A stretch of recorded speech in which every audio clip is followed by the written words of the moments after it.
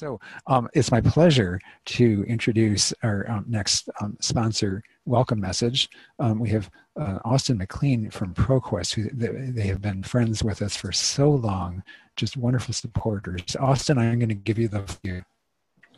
Great, thanks so much, John and everybody. It's I'm Austin McLean from ProQuest, as John said, and we're very pleased to be able to sponsor the USETDA conference this year uh, since being involved with USETDA since its founding we really want to thank the conference committee for holding the conference this year. You know, in these unprecedented times, being able to connect virtually uh, with the ETD community really helps. Uh, and it helps many of us continue our work from home or wherever we happen to be at this time. So a big thank you to John and the conference committee team.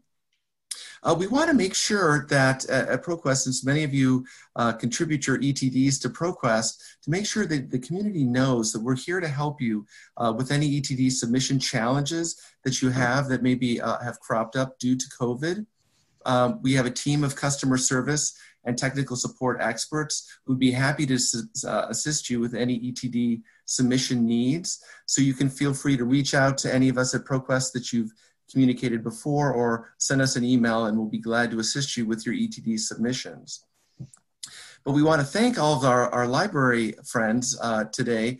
For those of you that have the PQDT Global Database, which contains those 5 million dissertations and 2.6 million in full text, we want to commend your efforts because we've seen great usage of the PQDT database uh, during this COVID time. So you've done really good work we can see by connecting the database to the users on your campus and uh, remote users that are connecting from home. So clearly the librarians in the audience have done a great job in connecting the researchers with important databases like the PQDT Global Database.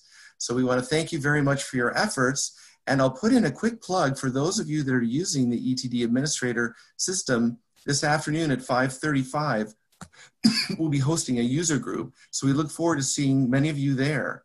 So thank you all very much, and we're happy to sponsor. And uh, this, the conference is already fascinating, and we look forward to learning more new things around ETDs today. So thanks very much.